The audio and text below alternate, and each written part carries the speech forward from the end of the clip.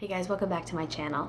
So in this series of videos, I'm kind of taking apart single ingredients, putting them, applying them to my hair, seeing exactly what they are, how they work, and what they do. So when we look at our products, we'll have a much clearer picture on what we can expect from those products, and also have the option of just using them by themselves or making something in our own kitchen. Last week we discussed aloe vera, which is a humectant. This week is another humectant, which is marshmallow root. At the end of this video, you will see a demo on how I use this and apply it to my hair.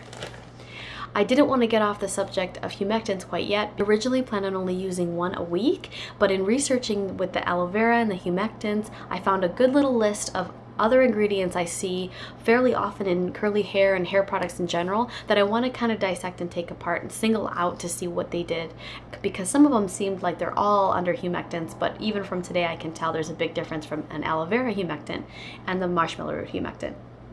There's about three or about three more coming up that I want to also spotlight. So marshmallow root is a film forming humectant. And with the film forming humectant, even though I've seen articles where it kind of lists aloe vera as a film forming humectant, I definitely didn't get that feeling.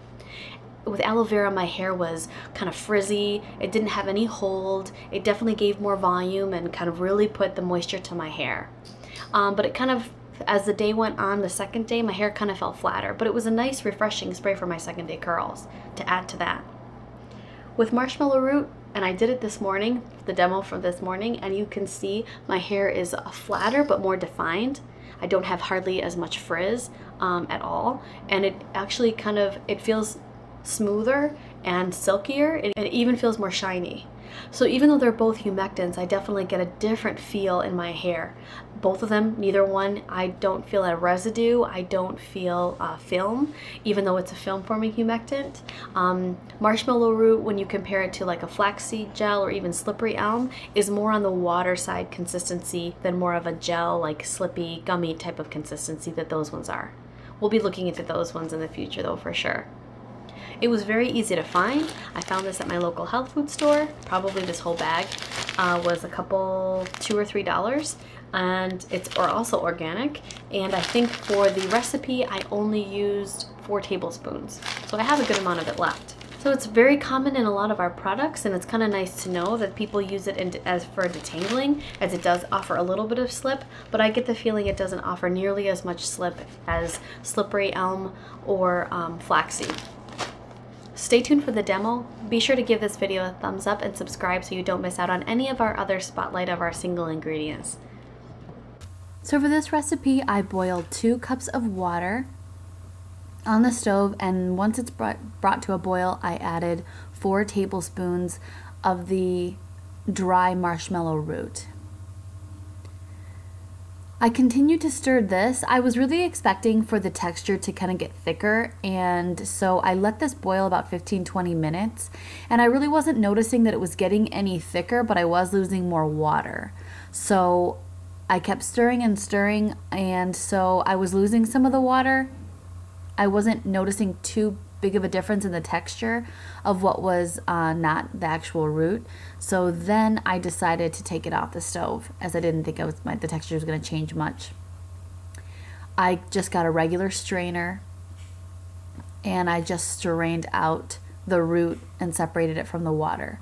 I did have like a cheesecloth and other things because I thought it would be similar to flaxseed and it definitely was not. It was is much more actually completely watery, just leaves a little bit of a um, a slippery, slick consistency when you touch it.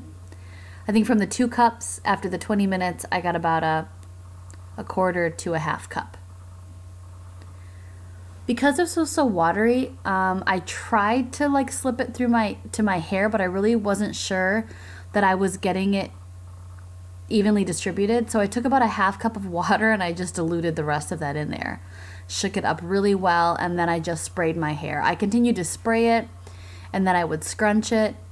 Uh, and I sprayed and scrunched probably a, excessively, much more than I normally would. I just wanted to make sure that this was all distributed. And then I dry plopped for about 30 minutes. Then I just let it air dry. And here is the finished results as you saw earlier in the video. My hair is very defined. It was it felt very shiny. It was light. There was no residue. Um, this is either I continued to fluff and scrunch it, hoping to get a little bit more volume because it definitely felt flatter, um, especially compared to the aloe vera.